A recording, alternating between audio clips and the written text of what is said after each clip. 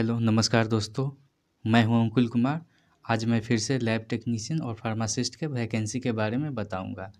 यह vacancy South Central Railway Hyderabad division में आई है।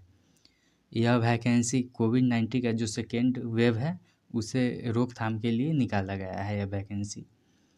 यह कॉन्ट्रैक्ट बेस पे है और यह तीन महीने के लिए है। हो सकता है इसका टाइम आगे बढ़ाया भी जाए। इसका जो सिलेक्शन जो है इंटरव्यू मोड पे होगा। तो चलिए बताते हैं एक एक करके कि आगे क्या करना है आपको। सबसे पहले क्वालिफिकेशन के बारे में बात करेंगे।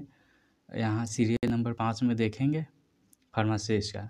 टोटल दो पोस्ट है, इसका एज है twenty two thirty three years और इसका सैलरी जो है उनतीस हज़ार दो सौ पर मंथ है।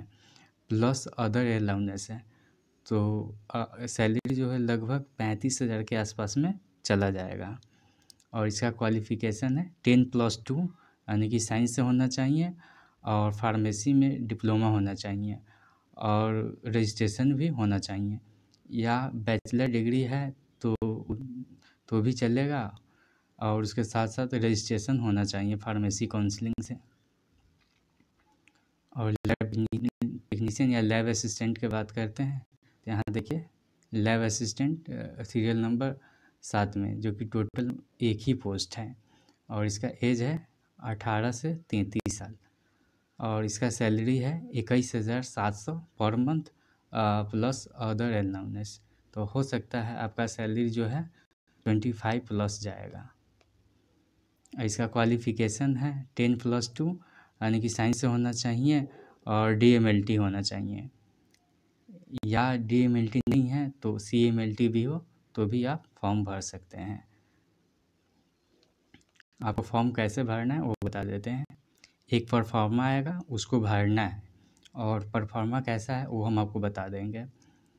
और उसको भर करके जो डॉक्यूमेंट है, उसको मतलब कि फ़ोटो कॉपी करके और स्कैन करके आपको पीडीएफ में बनाना है, और इसके बाद मेल पे करना है। आप यहाँ देख सकते हैं जो ईमेल आईडी दिया हुआ है, इस ईमेल आईडी पे आपको मतलब कि मेल करना है उनतीस पाँच दो हज़ार इक्कीस को, यानी कि उनतीस मई से पहले आपको करना है।